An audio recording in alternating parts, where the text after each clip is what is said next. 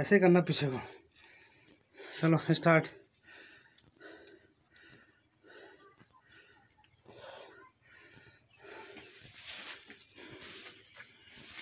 बढ़